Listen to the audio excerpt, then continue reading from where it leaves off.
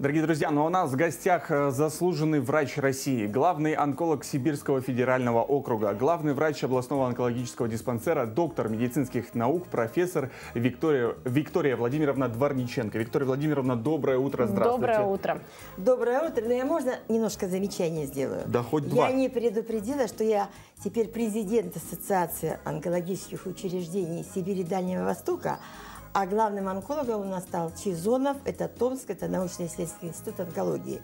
Поэтому, Вот чтобы вдруг куда-то что-то ушло, не обижать людей, должна быть точность в названии наших регалий. То есть вас э, можно поздравить, это же все-таки как-то Год такой я уже президент. Ну, это у нас такая... с небольшим опозданием. Нормально, просто точность. Я люблю точность. Хорошо. И, как говорит наш президент, правду. Самое главное, Ну что ж. точность и правда. Вот мы надеемся на точные и правдивые вопросы в нашем интервью прямо Пожалуйста. сейчас. Да, ближе к делу. 21 век на дворе, а вроде как современные технологии развиваются с невероятной скоростью, но все-таки проблема рака еще тревожит и жителей нашей Земли. По- Почему еще до сих пор не создана вакцина от этой болезни? Она и не может быть создана. По той простой причине, что онкологически все заболевания, практически из всех наших клеточек, получают название хроническое заболевание.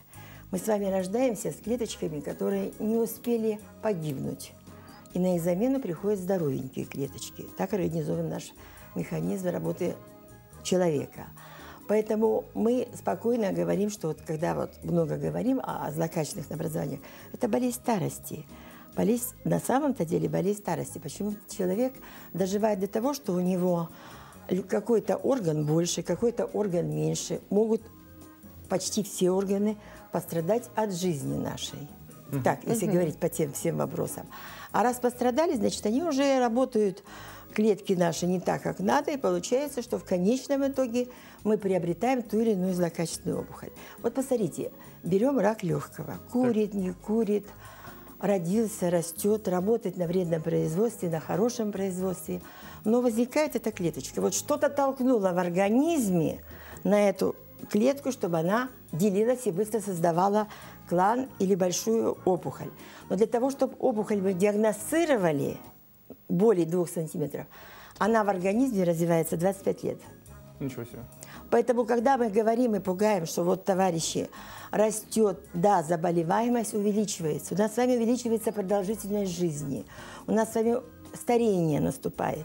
Почему в молодом возрасте, это вот мое мнение, я думаю, оно подтвердится на научно-исследовательских различных наших работах, о том, что в молодости мы с вами имеем такие органы, которые как бы стареют. Но берите вот рака шейки матки у девчонок, у женщин не должно быть 30 лет. А раз мы сейчас ну, ведем хорошую сексуальную жизнь, получаем ог- активную, хорошее слово, огромное количество бактерий, и бактерии являются причиной воспалительного процесса. А вот клетки наши не любят воспалительный процесс. Они начинают бороться, возникают различные варианты наших изменений, дисплазия, пролиферация, атипия и все. И если женщина не лечит эрозию шейки матки и не приходит ежегодно на исследования, она в раннем возрасте в течение 10-15 лет от труду может получить опухоль шейки матки. И опять же, шейка матки по щучьему велению не, растет, не, опухоль не увеличивается, а все опять десятки лет. То есть у каждого из нас есть время на профилактику. У нас у каждого из нас есть возможность предупредить опухоль. Лишь бы была информация правильная от нас, как онкологов, и также желание у человека жить долго и быть здоровым. Вот смотрите, сердечно-сосудистых заболеваний у нас два, даже больше теперь, раз больше.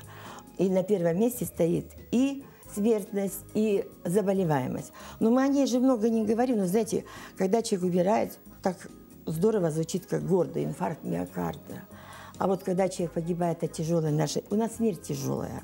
Вот смерть тяжелая, почему? Потому что мотор наш работает очень длительно и хорошо, а клеточки уже забили весь организм.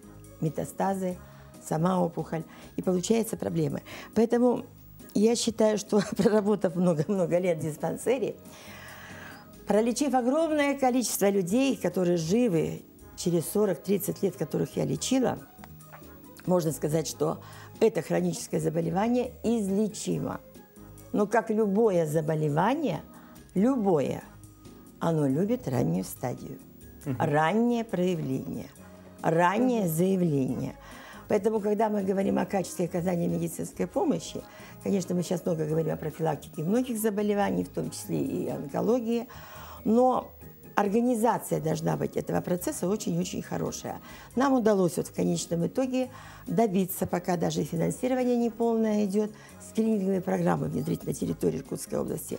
Мы занимаемся профилактикой колоректального рака. Есть у нас такой скрининг, который мы проводим, аппаратура современная.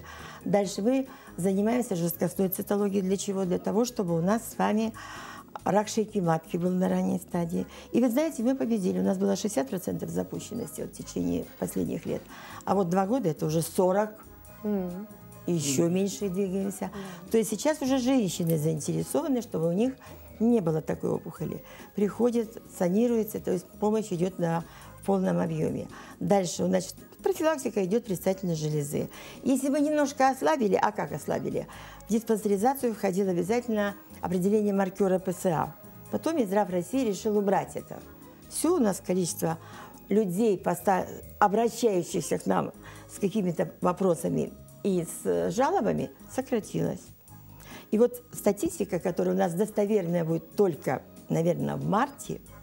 Почему? Потому что сейчас мы говорим, смертность у нас гораздо выше по сравнению с прошлым годом даже вот получается, в прошлом году было 208 на 100 тысяч населения, а в этом году пока по, предварительно по стату 211.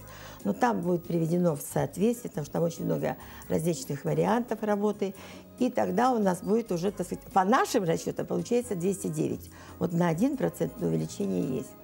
Какие у нас заболевания дают такой высокий процент смертности? Рак легкого. У нас запущенный рак легкого идет 500 450 человек в год, где мы помочь не можем. Как я уже сказала, опухоль появляется долго, время есть, но человека ничего не беспокоит, его терапевты по месту жительства не назначают компьютерную томографию, эндоскопическое исследование, которое даже хотя бы рентгенографию, если бы это делалось системно и для выявления туберкулеза, и для выявления злокачественных образований, было бы гораздо быстрее. Но вот сейчас эта проблема актуальная. Мы готовим уже, так сказать, методические рекомендации и возможность, алгоритмы, чтобы ранняя диагностика на местах по раку легкого, желудка, предстательной железе, водочной кишке была обязательно. А вот, кстати, Виктория Владимировна нам звонил да, телезритель Александр.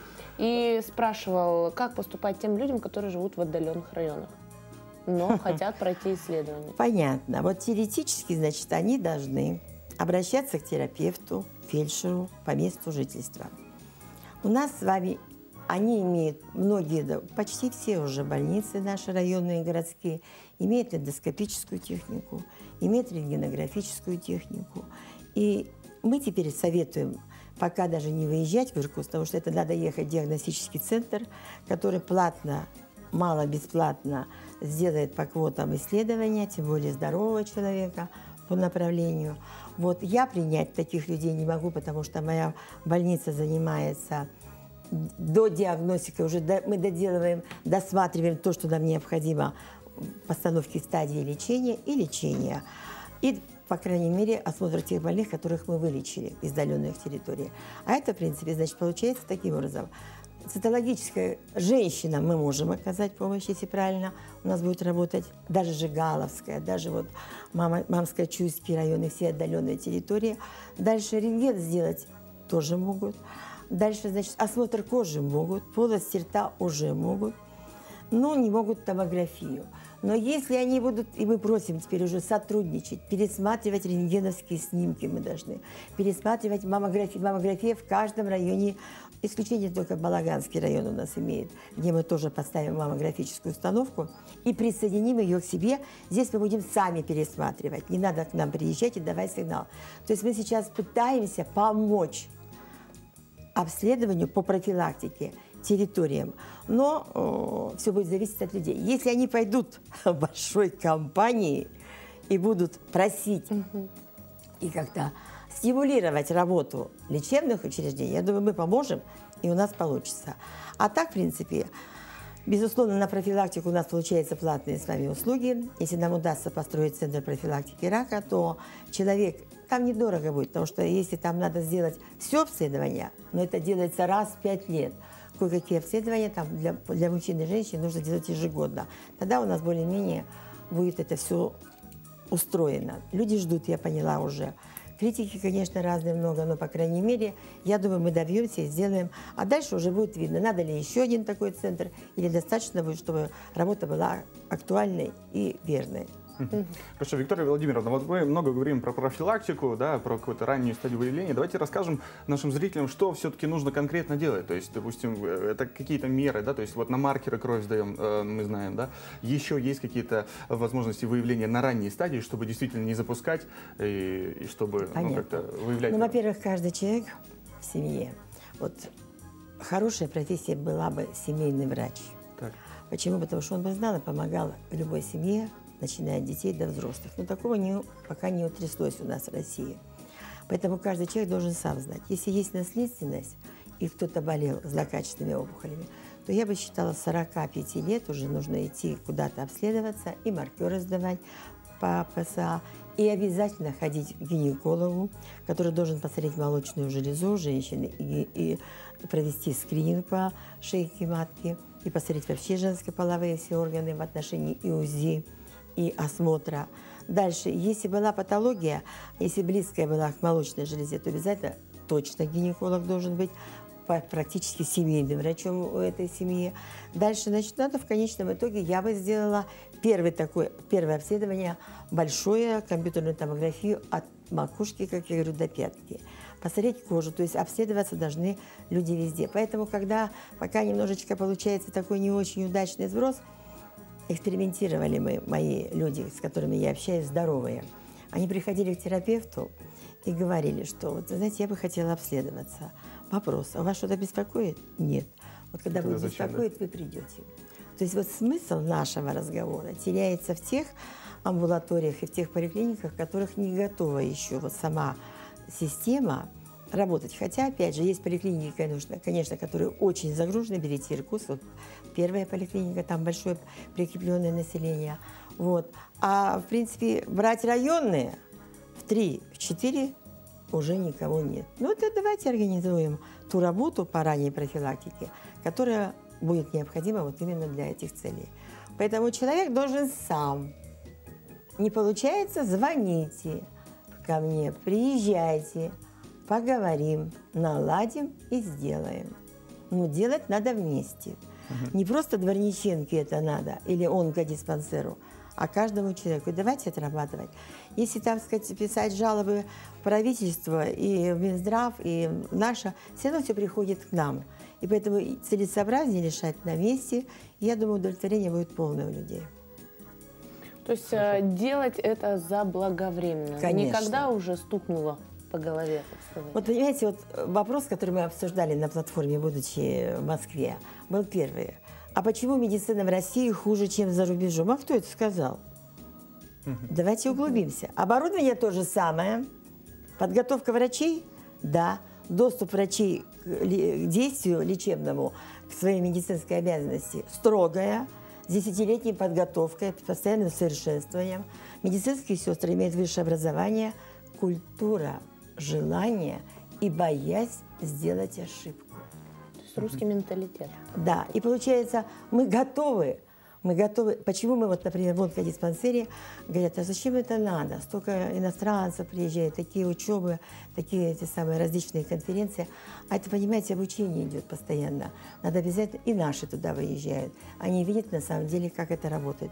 И поэтому получается уже потом связь с человеком здоровым и с больным – уже другая. Вот там высший пилотаж работает. Там миссии другие. Mm-hmm. У нас качество и пишем.